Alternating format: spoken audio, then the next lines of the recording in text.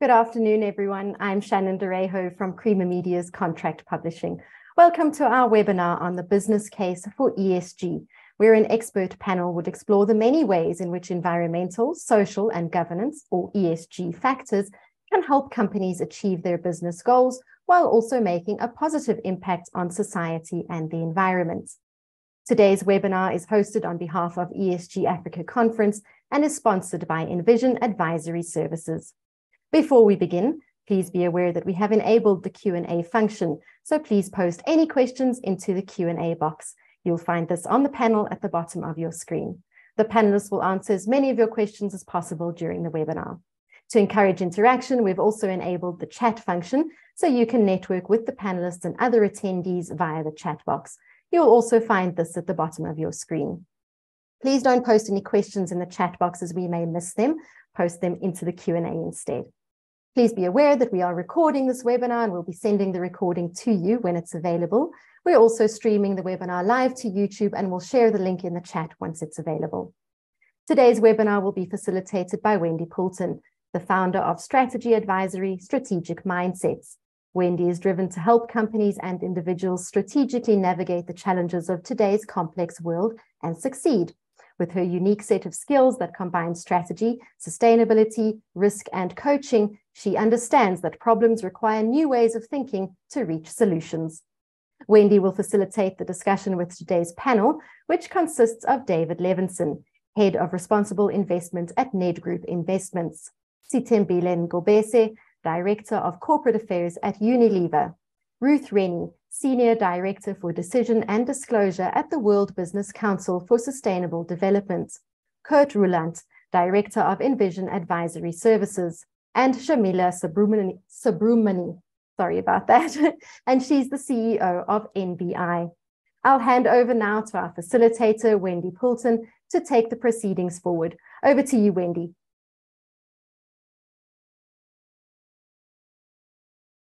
Wendy, we can't seem to hear you. Okay. There we go. Now I can hear you. Can you hear me now? Yes, over to you. Okay. Perfect. Good afternoon, everybody, and we're so happy to see you um, at this our second webinar in the series of webinars around some of the dimensions of ESG that we are exploring um, and that we'll uh, want to continue the conversation on. And today's one is quite a, an, an, old one, really, because it's been one of the questions that's been asked um, of sustainability managers, strategy managers, CEOs over the decades where sustainability and ESG practices have become increasingly important and are now becoming really mainstream um, for any um, organization. And we are really lucky to have the panel that we have with us here today because they come from a wide variety of different backgrounds. And so I think the, the discussion is therefore going to be really rich and diverse. Um, and we're going to really get into some of the issues. So what we really want to talk about is how some of these ESG factors can, can really drive our business models and why it's essential for to have ESG as part of that business model and our license to operate as organizations. So I'm going to start off by asking each of the panelists just to give us a couple of minutes on what their thoughts are in general about how ESG is now becoming mainstream and is it in fact becoming mainstream everywhere and why they think that is. So I'll start with um, with uh, Kurt. Would you like to just give us your introductory comments? Okay, thank you very much, Wendy, for the introduction. Um, I think ESG is still quite embryonic in its nature. Uh, while there is a lot of publications around ESG, a lot of companies, that's based on our understanding as a strategic advisory company, are still struggling with getting a good understanding about what is ESG. You have, in general, a small core of very small, certain big companies that are ESG experts, but then the issue is what happens with the wider operation environment. And there we see sometimes a mismatch while you have ESG experts in the company setting out standards, but they need to take on with them the business, business and the operational people. So, and I think one of the areas that we certainly see as one of the target areas initially is helping companies with education, setting the same standards throughout the company, assessing the, the, the, the, the standards within the company so that everyone is on the same baseline and then talk about ESG. So I think there is still a lot of work to do for most companies uh, and certainly the medium to smaller size companies where you have in general one person assigned to ESG to to yeah to to convey the message of ESG within the broader company structures.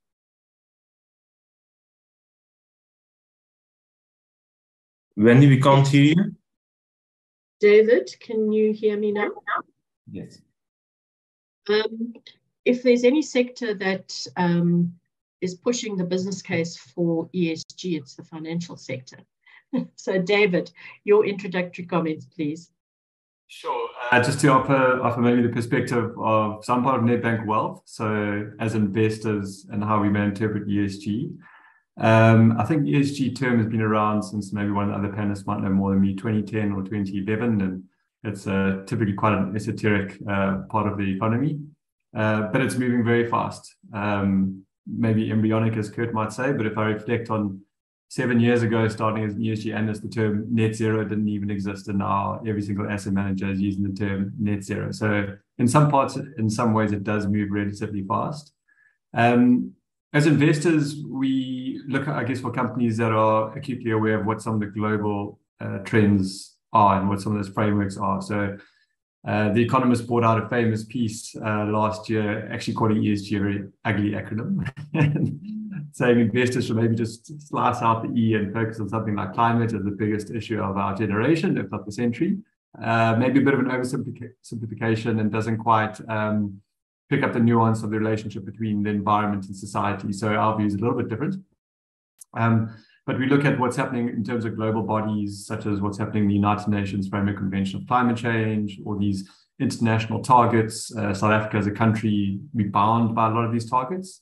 Uh, and we want to see from companies that invest in, in appreciation for what this means in terms of risk as well as opportunity for those organizations. So there's a benefit to being on the forefront of ESG. There's also a cost of not using ESG. So investors won't want to invest in your companies. We think about our next, next generation clients, want that we investing responsibly. So from a share price perspective, more investors is a good thing for companies. Uh, but if you're coming across as a poor ESG performer, you could see a vacuum of uh, equity investors as well as uh, debt investors as well. So it starts to become quite penal on your bottom line. Um, if I reflect on Nedbank, uh, we're on a sustainability journey. You'll hear us use the term uh, purpose-led organization. And that comes from the belief of actually more societal lending, saying you cannot be a sustainable company if you're operating in an unsuccessful society. So with all South Africa's ales, uh, you can see how as a company we are so strongly linked to uh, social equity and the health of, of our country at, uh, at a societal level. Thank you, David. Um, you quoted the, I think it's a famous quote from Bjorn Stigson, right? It said, business cannot operate in a society that's failing. So I'll ask Ruth next to, to give us an international perspective around this because oftentimes people will say, um, you know, it's a developed country issue. Um, what about developing countries where we have SMEs and it's much smaller? What's your thought on the business case for ESG? I think what the last two speakers have said is very relevant. The thing about ESG is that it covers many things that people are already doing because it makes good business sense, but we're packaging it under a different set of letters, which is confusing for people. What we've what we see and we see it the other thing about ESG is that it looks very different depending on which economy you're in, which sector you're in, and particularly which part of a global value chain you're operating in.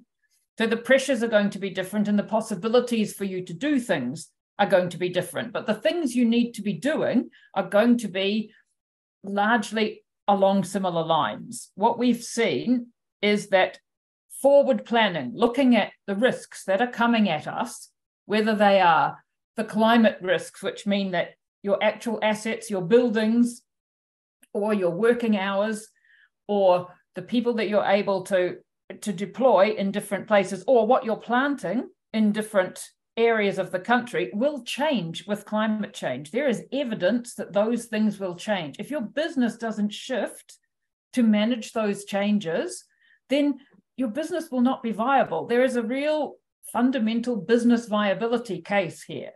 At the same time, when we see more and more young people who are actually choosing where to work based on what the values of their company, of their employers are. And that's a really important thing. And it's we're not only seeing that in developed countries, we're also seeing that in a lot of what we call the BRICSAMs, which of which South Africa is one, right? It's those developing economies that are gaining scale and where we're seeing a lot of the values coming down from um, richer countries effectively, but that are influencing customers, they're influencing investors, they're influencing staff.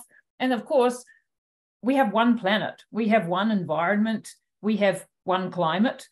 And so being able to being able to adapt to those changes, see the risks, and make sure that your business model is able to answer those risks, that's absolutely the core to business viability. It's not even about wanting to be a good corporate citizen in the world, although that's fantastic if you want to be driven by purpose. Even if you don't want to be driven by purpose, you still want to be in business. In 10 or 20 years, you're still going to have to do it. Yeah, thank you so much. I was being provocative about developing countries because I totally agree with you. We have to do it no matter where we are. Um, and I think that, especially with global trade and supply chains that we have today, it's just something that makes good business sense. And it's if if you take the principles from TCFD, for example, around embedded into your strategy and risk processes, that's when it really starts adding value. And so um, Sithembile, I just want to ask you, because um, you're from an organization, a company, um, have you seen that shift about how ESG is being integrated into into strategy and risk management in your organization? Unilever being one of the forerunners of sustainability globally. Yeah, absolutely. Thank you very much for this opportunity. I mean, Unilever is one of the world's uh, we are largest consumer goods companies. And I think for the past two years, ESG is at the center of our business strategy globally. We are driven by a purpose to make sustainable living um, commonplace. I think this is very um, true story to our markets um, in which we operate in. Because at Unilever, we have a long, you know, belief that being a responsible, sustainable business makes a stronger, better business. Um, so we've taken to different countries looking into strategic impact um, from a social impact perspective to say how do we then allow sustainability to be in the forefront of everything that we do. As part of that, we are rethinking um, our plastic system to keep plastic within a circular economy and out of the environment. So in South Africa, this can only happen if we improve the livelihoods of thousands of waste pickers. I think later on I'll get to share more in terms of what we do in the recycling system um, so that we're making sure that these guys are economically and socially um, included in the value chain. Thank you so much. And then last but certainly not least, um, Shameela, from your perspective in your recent role at the JSE, but also in your new role, congratulations, as CEO of the NBI, what are your views on this? Um, well, I know it sounds cliched, but I really have to echo what the, the other panelists have said. And I think particularly uh, Ruth, um, understanding that, you know, we've got to consider not ESG just as something you look at or something you do, but the context that it is really trying to create and the awareness that we live within a set of finite boundaries. You know, um, often the conversation is held in the context of risk management, and we look at ESG often from a risk management perspective, which absolutely is a great first step, and it resonates with existing structures and companies, and therefore I think is a little bit easier to to put into that narrative. However, sometimes what's missing is the context. And to say what we're really trying to achieve and the outcome we're trying to drive is to achieve sustainable development. And what does that really mean? It is to operate within the context of a set of finite boundaries. We talk about ecological boundaries. And more importantly, to ensure that we maintain adequate social foundation so that whatever we do in our businesses and our practices and what we drive in policy and governments and the like is enabling an outcome that says that this is the finiteness that we need to operate within. And within that context, how do we then run our businesses? So, whilst there's a risk approach that's kind of outside in, here's all these things that are happening, how does it affect my business? And my business needs to respond in order to be relevant. Also, is the perspective of, but how does my business and my chosen business model impact the achievement of that objective? That is a common objective, which should be a common objective for us collectively as humankind or whatever we would like to put that in. So everything in the way in which we organize our economic activities and what we do should ultimately be driven by that awareness. But that awareness often is lacking. And if you think about it, you know, the understanding of the system's perspective should be across all disciplines that we study, be it finance, be it geography, be it technology, that, that should be there, but it, it's not necessarily the way we've done it, which then translates into business models often that don't adequately understand and account for these things.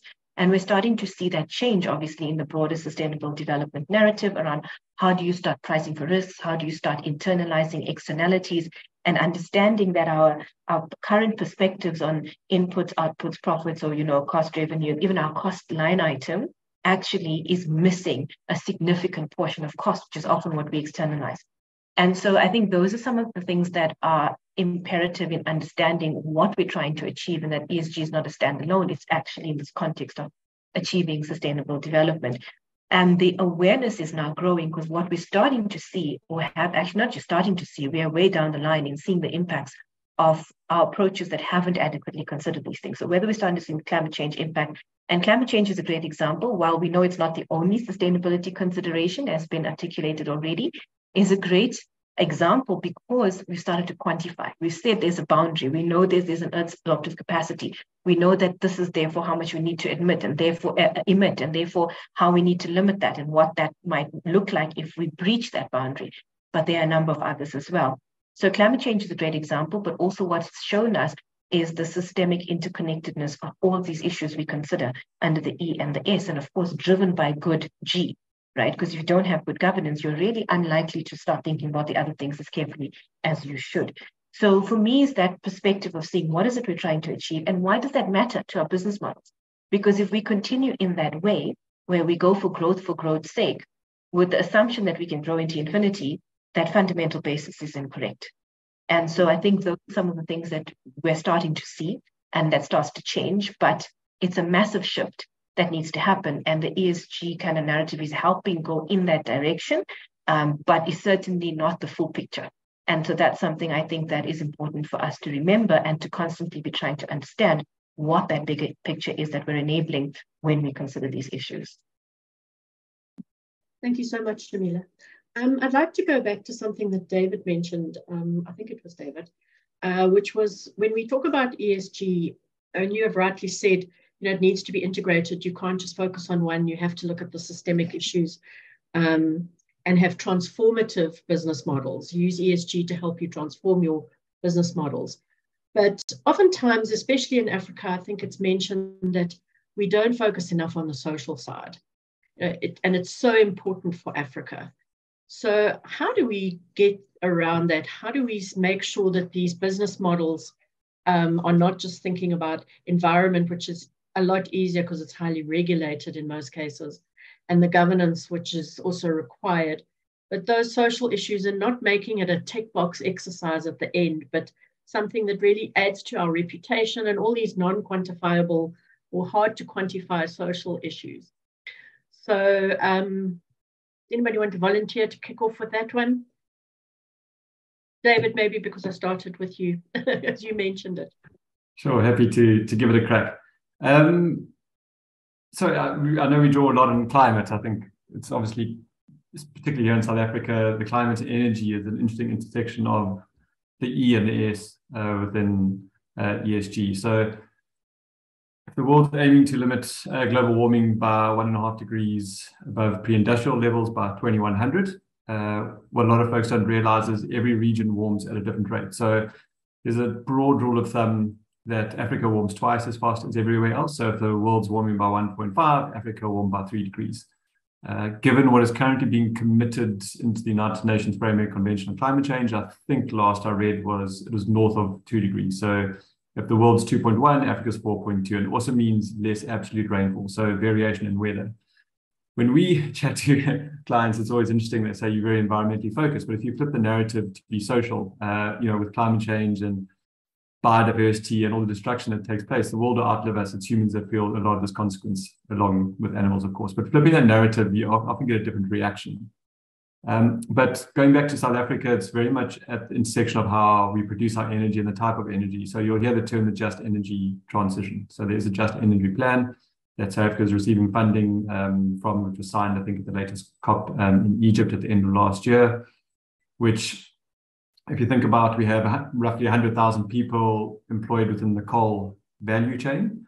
So if we suddenly need to, you know, drop coal altogether, there's a social implication there. So it's about phasing it out, I think is the term they like to use at all these international negotiation tables through time as we move from more fossil fuels to cleaner, cleaner, cleaner sources of energy production, there's going to be a potential labor impact, or there will be a labor impact there. So it's all about how, at the broader economic level, we look to evolve our economy. Um, how agile the South African employment sector is, I think, is up for debate.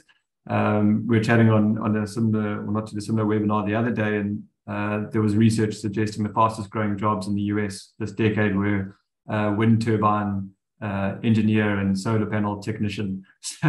so it's also the ability of the new frontiers to absorb some of that labor, but I think a lot is depending on the agility of the South African labor force. Thank you. Anyone else want to comment on that social issue, and in, particularly in the context of Africa and SMMEs? But sorry, David, before I go off you, there's a question for you that says, um, how is Nedbank supporting small businesses?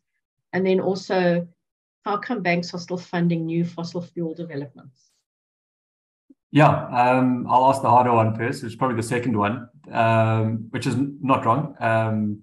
You know, I think JP Morgan is the biggest funder of uh, typically fossil fuels, so oil and gas, um, out of all the major banks across the world. Uh, they're about the fifth or sixth biggest funder of uh, clean energy as well but that is, you know, just a, a more minor portion of what they're still doing in the fossil fuel space. So there's often a disconnect between what they're saying in the public space versus what their lending book, their investment book might be doing.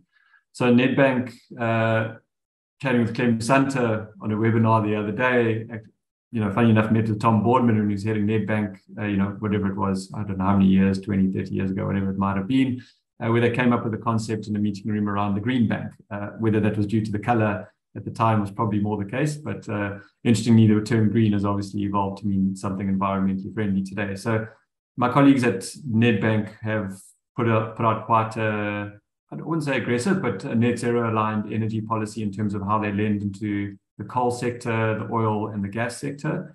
So off the top of my head, coal, they're no longer funding new coal thermal coal mining outside of South Africa as of 2021. And as of 2021, no longer funding new coal fired power stations. And then I think there's a 2023 target or 2025, uh, forgive me if I'm wrong on the date, of no longer funding uh, thermal coal mining, no matter of the jurisdictions that's here in South Africa. And they'll have similar goals for oil and gas, I think leading up to about 2030, 2035 to ultimately be net zero by 2050. So some brave decisions because I imagine my colleagues on the investment bank probably earn a fair amount of revenue on lending into this industry. Um, so yeah, that's what Nedbank's doing, I guess, from an perspective. And I can't talk on behalf of our competitors. Some of them are more progressive than others. Um, in terms of small enterprises, sorry, I don't want to take up too much airtime here. Um, you know, when I chat with my colleagues in the bank, um, they've started to introduce uh, sustainability uh, linked loans as an example. So if you're lending to an organization, it'll be linked to positive ESG outcomes, and that can actually affect the, the preferential treatment of that loan um, and what your payback might, might be. So that's just one example of maybe how they're working with small and medium-sized enterprises. Thank you so much. Uh, Ruth, you had your hand up to answer a question on the Africa. Yeah, I think it's really important to look at what is it that characterizes African countries' economies. And there's two really important things.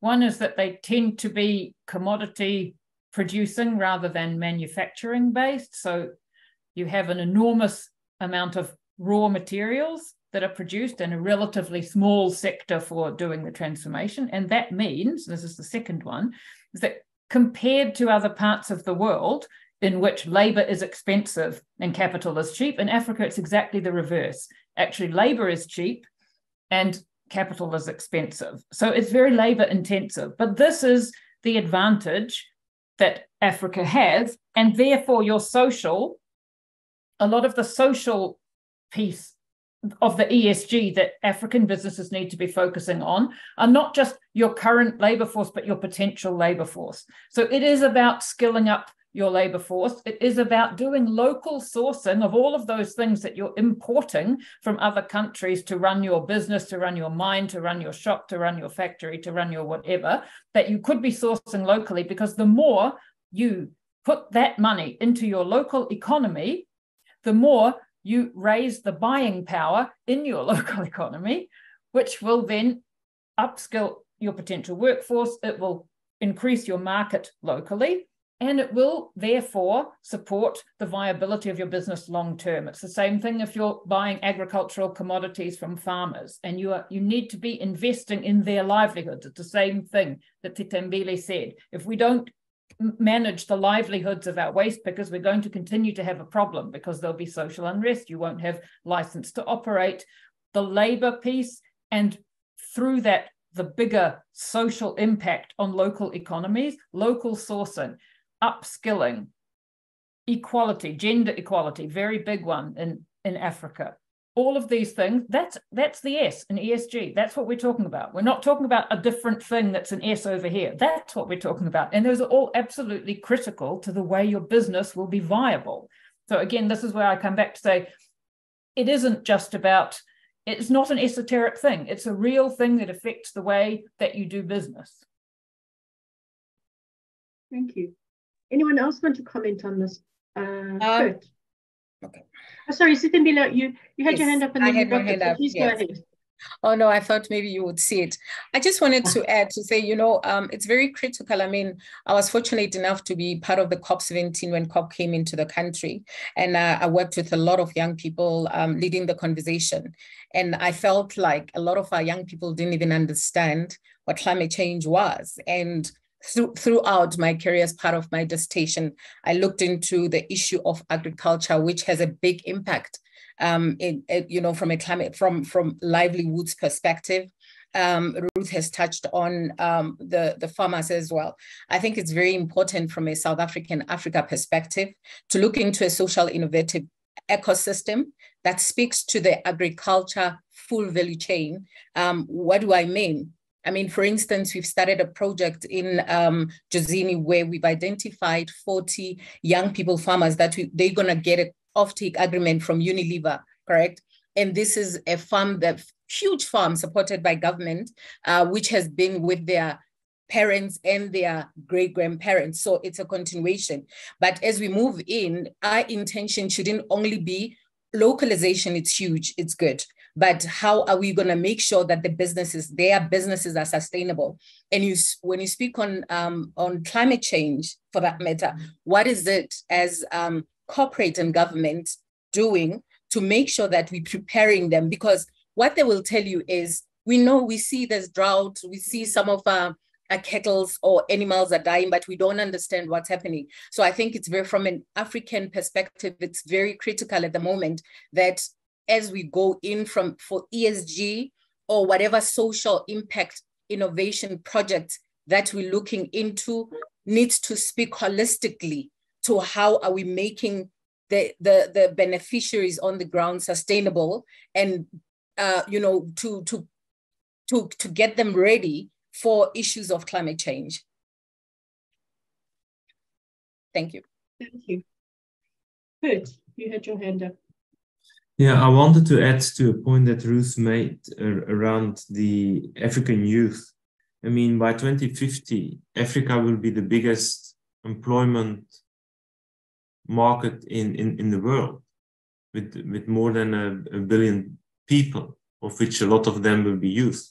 So we need to, from a social perspective, and that's also looking at risks, but maybe in 10, 15, 20 years, to reduce the social unrest potential in Africa, we need to start thinking about how can we employ all that youth that comes into the labor market. Already have a lot of unemployment in South Africa with 35% of which the majority is youth that will never have a job. and that's sitting there at home thinking in the emptiness, maybe looking at Twitter and doing whatever. But it's it's a big potential danger for the total sustainability of any company, not only in South Africa but also in in in Africa. And I think I'm I'm currently on holiday in in in in Belgium, and when I see that around uh, the immigration streams that come from Africa, European countries also need to do something around work in Africa because complaining and trying to limit stream will not help because these people need have needs they need jobs. They need food. They need yeah they need to live. So i think that's a big uh, element on the s element on, on the s from esg for africa. So i think we, we shouldn't take that lightly. Thank you good. Shameela. Thanks, Wendy. So yeah, I completely concur with Kurt. I think the, the thing is that, uh, and I'm going to give a slightly different angle on this. One of the things that we know we're going to be quite in need of to enable the just transition, and remember the just element of transition is really that social context, right? Um, and this and the skills transitioning that needs to happen, is that we're dependent on a lot of finance to come in from other markets to help us do the transition that we need to, to, to do as a country and you know as a continent as well and get there how we position and how we articulate our narrative and hold our own story as a country in south africa as a continent in africa is going to be critically important because there are inherent biases i think in some of funding that comes through that's informed by a different reality to the context in which we exist and operate and so if we want that money to match our need we need to clearly articulate what those needs are. If you just look at South Africa at this point, 46% unemployment in the expanded definition and up to 80% in certain areas just in the youth sector. To Kurt's point, that is a time bomb, a ticking time bomb, right? Um, youth restlessness should be keeping us all awake at night. Um, and pardon the pun, but that is really what we need to think about. And so when we look at what we need to finance, we need to also understand that there are certain things that as business, for example, we're going to have to lean in on immediately. 46% unemployment is not waiting for the transition to the green economy and the rescaling of the 100,000 people, you know, sitting in the coal value chain. This is an issue for the entire country. What do we do now? What do we do in the medium term? And yes, in the longer term. So there's an integration of understanding the challenges that we have right now and needing to know that we've got to do things to address those, but also the longer term, which is aligning that with the transition of the economy that needs to happen anyway, because that's in the context of sustainable development. We've accepted it's something that around the globe we need to work toward. So I think with Africa, it's bringing together of those two things in a different way that is going to be critically important in understanding that social context. And there again, I'm going to reiterate, it's owning our story. And so when we're looking at the financing, even not just climate financing, for example, but international investment, FDI, into our economies, is going to need to understand how we need to position that money, what it needs to actually enable in terms of economic growth, but also social stability. And so that is going to be critically important. And I think that's a responsibility across the board for business as well to work together very clearly to articulate that, to understand that, but to also make its own effort to ensure that it promotes that change that is required. Because again, you know, the point was made earlier that business can't thrive in a society that is failing. That is clear. And so those are things I think on the particularly the social context is our opportunity, but also our challenge to clearly articulate what we need. And some of those transitions are not going to be financed by, for example, the current glut of debt financing that is likely to come into the country. Because there are certain things you need to do to transition on a social context that are not revenue generating enough to sustain a debt repayment, but are going to be a different kind of financing, a different kind of support that's required. So I won't belabor that point, but really I think there are other touch points that we need to consider from a broader economic transformation perspective that has a serious social implication um, that is very, very real and that will lead to ultimately economic failure if we don't address. Mm. No, thank you, Shameela. I think those are all excellent points. And um, the South African National Energy Association recently released a skills roadmap for South Africa for energy.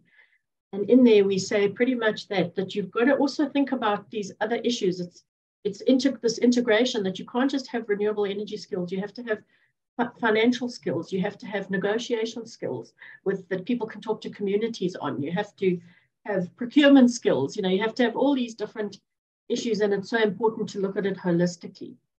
Um, but there's a there's a question, or there are a couple of questions that um, have come up on the chat box. If I can just summarize them, I think we know that um, these ES and G uh, elements are oftentimes in conflict with each other and in tension with each other. And um, how do we make the business case for ESG, but at the same time make sure that we have equal but also reasonable and that um, focus on certain areas? So one of the questions was during load shedding, the environmental uh, considerations from coal-fired power stations are being left by the wayside because we need the electricity right now. Um, and that's deemed to be more important. So how do you factor that kind of sort of trade-off into this business case for sustainable development? Anyone want to take a bash at that? Wendy, I can. Shameela, yes. Um, the quick step is that uh, definitely in the short term, energy security is is the priority, right? And there are a huge number of interdependencies on that, but we shouldn't lose sight of the goal in the longer term. It shouldn't be abandon everything for now. It should still be yes, we've got to focus on the short term energy security now and hope that that, but we need to make sure that that our plan for the longer term hasn't abandoned the environmental considerations. So I think that's my quick and dirty, uh, pardon the pun. But I mean, it's a similar thing as we saw in Europe, right? suddenly we have the issue with Ukraine, Russia, and then we kind of abandon some of the plans and long term transition to renewables in favor of short term energy security. And it's not dissimilar in that way. So I think that the, the, the need is to say, yes, short term energy security, but we have to have that long term plan that supports the transition.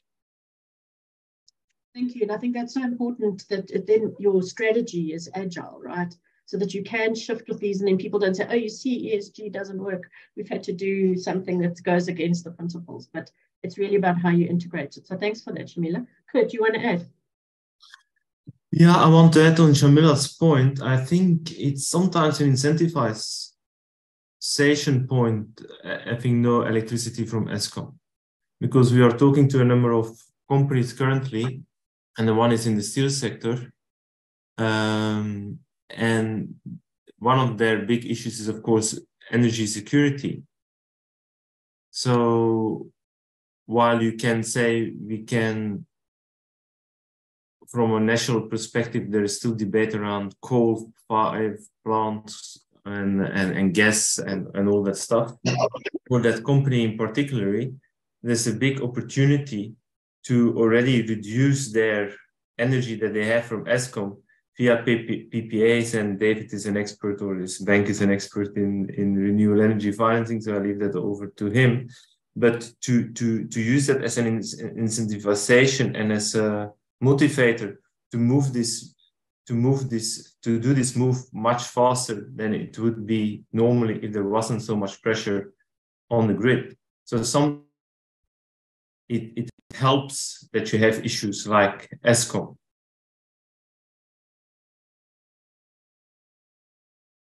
makes you innovative. yes, makes you innovative, correct. Yeah. Um, I wanted to just pick up on a couple of things that you guys mentioned around what is this if you have to you have to convince decision makers obviously in your organization not to make ESG an, an add-on but to integrate it into your strategy and that it can um, you know it is important for your business case. What are the different leadership styles that we need in terms of this? And this really fascinates because I'm also a coach. So I'm fascinated with how people take decisions and what are some of the biases and things that you need to work with in order to get them to take different decisions. Um, so, what are the different leadership models we need for, for really making leadership quickly see the benefit of um, ESG um, and the business case for it, but also to get other in the others in the organization to follow suit. so Sithembile, do you want to perhaps just talk about your experience in Unilever? What have you seen? Because Unilever had that great leadership from the beginning. Is it a is it a company culture thing? How are I people think, that don't comply dealt with? I think, you know, um, this has been our vision to be the global leader in sustainable business, as I said, and to demonstrate how um, a purpose led future fit business drive um, superior performance. So, as part of our um, our responsibility as different departments when we uh, craft our strategy, this becomes part of what we do. And we are led um, by the three objectives globally that uh, brands with purpose grow, companies with purpose last, and people with purpose um, thrive. So this has been what has made Unilever so dynamic when it comes to sustainability and the E&S, because everything that we do is driven by the purpose. I think you can go as back as um, 100 years ago when we were um, we we had our first factory in the country where in Maydon Wharf we did sunlight, and sunlight was purely um, developed by our, our founder to fight diseases um, in the world. So each and every program, I think uh, our R&D department is quietly linked to all our brands, all everything that we do. So I think I'm one. We are one of those organizations that it's not an add-on, or to say, okay, from a reputational risk perspective, what is it that we're doing when it comes to ESG or sustainability? This is part of what makes Unilever um, the bigger the bigger company that it is today. Thank you. Anyone else want to comment on leadership styles that would be different? Ruth. One thing that we have seen is a real change in exactly what you're talking about, leadership styles.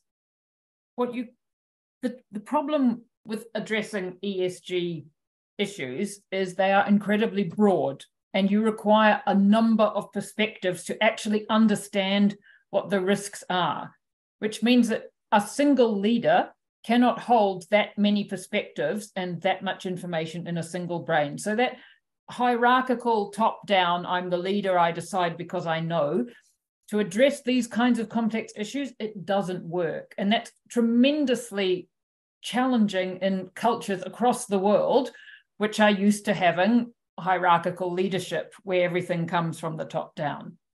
So, what we're seeing now is leadership which is much more focused on listening, on actually engaging with a whole lot of different stakeholders to find out what the risks are, to understand what do our customers need, what do our suppliers need, what do what do our what does my staff need to what do our investors need what do regulators need so that this business can thrive? Because if I don't understand those things, then I won't be able to address them, and that will be a risk to me down the line.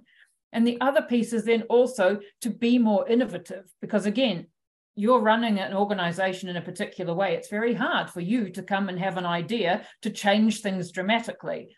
But there are pockets of understanding and innovation within organizations. And the more you can devolve decision making to those people who can really understand the business and say, why don't we do it differently? Why don't we do it this way? You know, I've seen in my processes that we could skip these three steps, or we could use another simple program and do things much more effectively. And very often it's frontline staff who are actually understanding better how things could be done well. So it is a real shift from the leader is the person who knows and decides and understands everything to this is a collective organizational you know effort to make things evolve in the direction that we need to evolve them in. The world is just too complex to do it on your own anymore. Yeah. Thank you. David, you had your hand up. Yeah, I saw maybe it ties in. I think uh, maybe a bit embarrassed to say, I just saw the Q&A function on the bottom of the screen. Someone asking about governance, which I'm glad popped up. It's often the uh, the least uh, sexy of the ESG acronym. And maybe it ties a little bit into this question. And I've got a sneaky suspicion my logic's going to lead us to saying we need more female leaders and presidents. But um, through the eyes of investors, you know, when you look for good leadership, you, you you you'd love to be a fly on the wall in a boardroom and understanding the sincerity and authenticity of leadership. So we have to take guidance because we can't do that from certain uh, guidelines, uh, such as the King, King codes for corporate governance here in South Africa. You know, South African investors are scarred by recent events. Uh, Steinhoff is a is a classic example, and don't need to go too much into the details, but there are a lot of sort of governance red flags that came through. And asset managers at the start of the ESG journeys would often focus on the governance. Um, there's a loosely agreed sort of consensus that strong governance often leads to strong environmental and social management. And I don't know if that's been dispelled or if anyone disagrees. Um, so you know, we we look for companies there where we can kind of gauge the authenticity of leadership, but then you get organizations such as, you know, the, the you know Richemont and you know the Rupert family, where they might not be aligning with king codes and corporate governance, but investors seek comfort in the fact that there's family and sentimental attachment to the company, and there's more of a long-term lens than maybe a CEO who comes in for five years and then leaves. So um, it's about weighing it up, and the word context has been used a fair amount today. Um, so another thing that we look at, because we do try to simplify it um, within Nedbank and Wealth, is around diversity and inclusion as well. So if we go through portfolios with a fine tooth comb and you look at the CFO and the CEO of listed companies in South Africa, it makes for quite scary reading in terms of uh, just lack of uh, gender representation. So for anyone who's interested within global asset management, there's something called the 30% club where uh, investors or at least encouraged to target 30% uh, female representation on a board. So I think anthropological studies suggest that once a minority group has 30% representation, they feel uh, they have a voice that's heard within a boardroom. And it's all those different ideas coming together. And we speak about cognitive diversity as well. And you're looking for leadership that can show that ability to, to think differently. Um, Shameela mentioned, you know, leveraging other skill sets, not having your own blind spots as an individual. Um, so the modern day leader is someone who I guess is open uh, to that feedback loop that may have historically been the case. Uh, so yeah, that's something we look at companies is through the lens of diversity. Uh, do they have diversity policies in place? Is there sufficient representation from all different groups of society, etc.? Thank you. I mean, that's something I follow quite a lot as well. And I think it's not just diversity, it's also inclusion side of things, which is then listening to those diverse views and having them have a voice at the table. Um, and that's a leadership issue as well about whether you actually take cognizance of those things. Shameela, you had your hand up. Um, yes, Wendy, sorry, just to, to continue on that theme, um, once you you actually, in a way, almost ticking the boxes, right? Because if that's where you start, that's where you start. But you should see the benefit of that start to filter through in how it impacts strategy and how it impacts the diversity and thinking, you know, the cognitive diversity in the room so it, you know, sometimes you might just start, oh my goodness, I just need to do this ESG thing, right? And everyone going to tick the box. But even if that's where you start, which ideally you shouldn't, you should do it because you know you know that this is the, the way it, it's actually going to have an impact on the business. But if you get there and those impacts filter through and you've got the right people in the room, it should create that enabling environment for these changes to take root. Because hopefully you're going to get that that view in the room. Just on leadership in particular, Wendy, I just want to pause on that. I think that given the nascent stage we are in some instances, and yes, some companies are far further down the line than others are, um, a leader who walks that talk, so to speak, and who is continually making sure that they make it clear in the organization that we need to consider these things and has helped to create the structures in the organization that facilitate the dialogue, that facilitate the integration into strategy is absolutely critical. And so that leader constantly saying this needs to be done and holding people to account for it is really instrumental in that change. And it's not always an easy thing to do because we're still sitting in a situation where uh, what we're measured on in terms of success, right, as CEOs or whatever, often is a very narrow definition um, and on profitability, on return on equity, on things like that. And so keeping those things golden in an organization usually is the driving factor.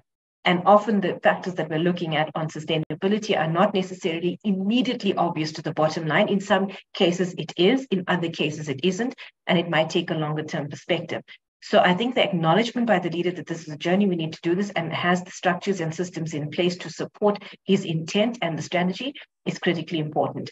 And to make sure that is continually reiterated and finding the mechanisms to get everybody on board however that might be is critical. Because again to this point i mean this is not it's not something that one person can hold in their head. As an ex chief sustainability officer i completely concur with that. You cannot be an expert on everything. You really need to get the wisdom of the crowd and the village and um, so those I think are, are, critical elements for a leader to acknowledge. If I go back and I just think about the JSE's example, I mean, the JSE was effectively considered a leader in stock exchanges going as far back as 2002, 2004. before sustainability was a thing, you know. But it took the deputy CEO at the time who held the agenda tight to make sure that it stayed in the conversation all the time. Because the criticism always is, well, if this is not making us money, why are we doing this? You know, and that might not be the immediate relation to the bottom line. But saying it's important and this is why, and making the long term case and ensuring that it is held on the agenda was critical in ensuring that it had the time it needed to start infiltrating to the impact that it's had on the market now in terms of the way the JSE strategy has been able to unfold over time. And so I'm using that as an example because it was a reflection on leadership and was a reflection on long termism and on understanding that the mechanisms within the organization need to be there to try to ensure that that narrative takes root and becomes the groundswell that you really need to sustain sustain it in the longer term and not easily swap it out for a short-term perspective. Thank you. I was on that original advisory committee for Nikki and she went through a tough time. I really admired her. So she had to fight hard for that. Um, Okay, so I think the next question I'd sort of like to get to is almost around, um, well, somebody has asked a question around greenwashing. And it also, you've raised it now, Shameela. You talk about short term versus long termism. We're talking about it with energy security just now. Um, oftentimes, the tenure of the um, the CEO is short, and they can, you know, we've seen it fiddle figures to make sure that they look good. And then we lose this long term vision, which is so essential to, to ESG in general. How do we get around that um, in making the business case that you, a part of the business case is doing those things that are going to be longer term, that may require longer periods of funding or slower to start up, etc. Good. Can I perhaps start with you on that one? Okay. And then of course greenwashing ultimately, yeah. Yes, I think in my opening remarks I spoke about bringing everyone in the company at the same level, and that also means at the board. To, because the board in, is the ultimate guider guidance uh, of the long-term strategy because CEOs come and, and go and I have a very interesting and practical example of a CEO of a JSE listed company who, who we were in a meeting with. And he said, Look, I can say everything around 2030. I can set the fantastic targets, but by 2030, I'm retired. But the board should be the main uh, institution to take these strategies and, and targets long term forward.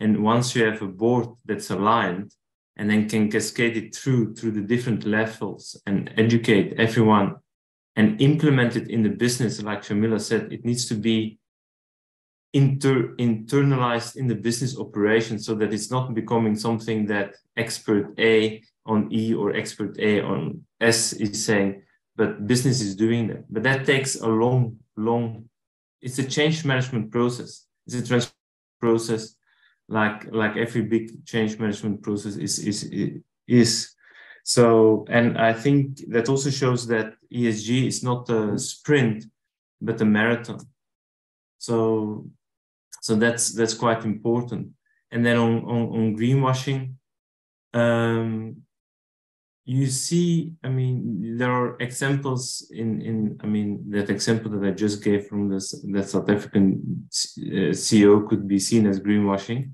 because it set targets and it's not anymore around. But uh, its successor will have to deal with that.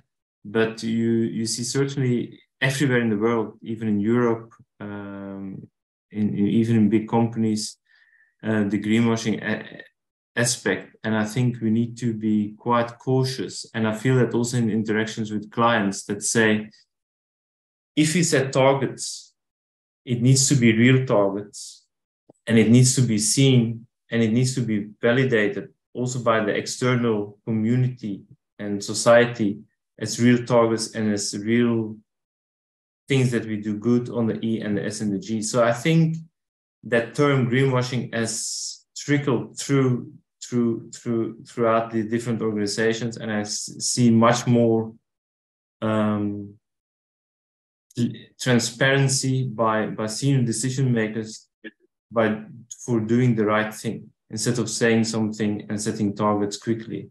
So I see, I see a material change in that based on the discussions with our clients. Mm. Thank you. I mean, I heard, I recently heard a thing about leadership as well with sustainability and saying part of it is accepting that you have a broader responsibility outside your own company as well. Um, and that's hard for leaders often because they, you know, it's, it's, it's their role in society almost to do it, yeah, which is tough. Anyone else want to add on on the greenwashing and the long-term nature of making sure that we really embed ESG into our business models? Yes, uh, I think I'll touch a bit on uh, true collaboration across sectors. I think um, in terms of short term and long term, often we we rush to look into what can be done immediately. But I think to um, Shameela's point, it's critical that we um, allow us to bring together, you know, best people and smartest technology. Um, this is the future now. But again, enabling us to tackle biggest challenges of today um, and capture the opportunities. I mean, we working with um, organizations such as the, the Oxfam looking into the recyclers, which is now, but part of the future, what we've done is we supported the initiative by introducing 100% recycled plastic sunlight dishwasher bottle, um, which create demands, but it's easily um, absorbed. So I think at the moment it's critical for us um, to have those PPPs come alive and to be true to them. Because I feel like sometimes we come together as industry and public sector and speak on those huge um, topics. Um, I remember last year during COP, uh, we struggled in terms of what's our South African position when it comes to um, um climate change now and in the future. And I think it's a call for us to be very intentional as private sector and, and, and private se public sector to sit and really have goals to say, for instance, um, from a Unilever perspective, we want to reduce, um, to collect and process more plastic than we sell by 2025. And this should be part of us. It is part of our strategy and part of the governance. But what is it that we're doing now? We looked into companies like your pepsi PepsiCo. What are we doing together to really, um, you know, bring our efforts and resources and make sure that we come up with really big projects um, in the country. And I think the likes of the NBI sit at the center. They are the, the, the facilitators of these communication and they are responsible to make sure that the commitments that are made by private sector and public sector come to pass. We can have now now for the organizations to say, hey, we're doing this with the uh, recyclers, we're very excited, but how are we linking our organization strategies to the bigger picture of the South African strategy when it comes to ESG. Mm. Thank you. Shameela. Lisa Sithembile, the, the issue of collaborative action is really that transformative thing in achieving the, uh, the objective of sustainable development because it has been a focus on short-termism and individual profit and individual success that has driven business up to now, but it's also created uh, the dislocations we've seen and the deficits we've seen in relation to responsibility for the environment, the protection of the commons, and things like that. And so now to reverse that is really the opposite that needs to happen. There's huge opportunity in collaborative action. Um, I mean, just simple example, companies spend millions and millions of rand on CSI investment and often doing that in individual pockets to meet whatever they need. Just think about the collective opportunity of that money to shift the dial on key issues that we have. Um, and I think that is critical is that collaborative action, but a better relationship with government as well, because this has to be about working together. The NBI has brilliant examples of really trying to work hard to enable that on the ground to drive impact. And I think that is at least a positive thing because, you know, once you see that it's possible, more and more hopefully you can do. I want to quickly, Wendy, touch on the issue of the greenwashing and the element of trust because they're very much integrated. So if anybody follows the Edelman Trust Barometer, you would have seen, and Edelman really measures the level of trust that civil society has in each of business, NGOs, the media, um, and government. And over time, there's been a deterioration in trust across the board. Um, but what we've seen in the last few years is a reversal of the trust in business. I know, quite ironic, right? They trust business more, but that's a good thing because the opportunity there is to be able to use that to say, and so, and the expectation, honestly, is that business actually takes on a role in society that's perhaps even greater than its remit in the traditional sense, but is saying, you're kind of our last hope right now. We want to see leadership from you. And that is what we're starting to see. So the opportunity now is for business to translate that into tangible effort and the collective effort in the ecosystem, which is the bringing together of civil society organizations and the like, will almost hold you to account who are not, you know, there's not a vested interest necessarily, and say, okay, these are the standards we should be working towards and that enable a greater good and business. We want to see that happen rather than maybe some of what we see is often the self reporting of business, which of course is an inherent bias in many instances. So seeing the collective ecosystem work together to ensure credibility and to and to kind of mitigate the risk of greenwashing is critical. And so we need to recognize the importance of that ecosystem working together as business and to do our best to ensure that we use our resources to leverage that. Thank you so much. Totally, totally agree. Um, Ruth, you may have the last word on this topic. It's just a very quick one to say that, you know, this concern for greenwashing is actually driving a lot of regulatory activity, particularly in Europe. And that's important because if you are selling to anyone who is selling into a supply chain in Europe, then you will at some point fall under this new directive, which is about anti greenwashing, which makes companies operating from Europe also responsible for anything that happens in their supply chain. It's also enabled a lot of civil society groups and others to bring complaints against companies with very long global supply chains to the courts to say you haven't taken care of these issues or you've made a claim which wasn't true. So the pressure is not just going to be about how to do it locally, it's going to come down your supply, down your buying chain to actually manage this risk because there's more and more, obviously, you know, emphasis being put on this by civil society and by NGOs. So just to say, you know, it's really worth looking at this and getting it right. And and that is an opportunity for a discussion with your buyers and with your suppliers. Because this isn't a thing that you just decide in the middle of a value chain and say, oh, I'm going to do it. And it doesn't matter what's happening either side of you. Actually, the whole thing matters. And there's push on buyers to be supporting their suppliers to be compliant there. So that's also an opportunity. Right. And that whole collaboration, co creation of new solutions. Um, really is becoming a, a, a, norm these days as well, right? And and a good a competitive advantage ultimately. Yeah. Okay, so I think we're almost at the end of our time together. So I'm just going to give each of the panelists just two minute elevator pitch. You're talking to your board, you have to convince them why there's a business case for ESG. What do you say? David, we'll put you in the hot seat. I think I saw a question come up about uh, different generations. You know, when we talk about investors and uh, we're going Gen X to millennials to zillennials and Gen Z, when whatever the next one is. I think you know someone like Unilever and Sita might understand this as you get your your equity and your uh, debt holders putting pressure on you from an ESG point of view. What are you doing in that space? And then you get your customers and your clients putting that pressure on you as well. They want to see certain levels of the expectations met. And I think within investing, it's a similar thing. Uh, if we don't evolve to offer sustainable style products that is what our clients want, I think that's pretty clear. That's kind of a business risk um, for somebody like ours. Uh, and maybe it doubles up with the previous question around greenwashing. We're seeing litigation in the EU, as Ruth mentioned, around greenwashing within financial services. People putting ESG labels on products, which once you lift the lid on the tin, it doesn't do much in terms of ESG. So uh, it's about being authentic, um, delivering what you promise. Um, yeah, and I think that's it offers quite an interesting intersection of you know financial services with what what the world, uh, what clients want, effectively. Thank you. Bert, do you want to go next?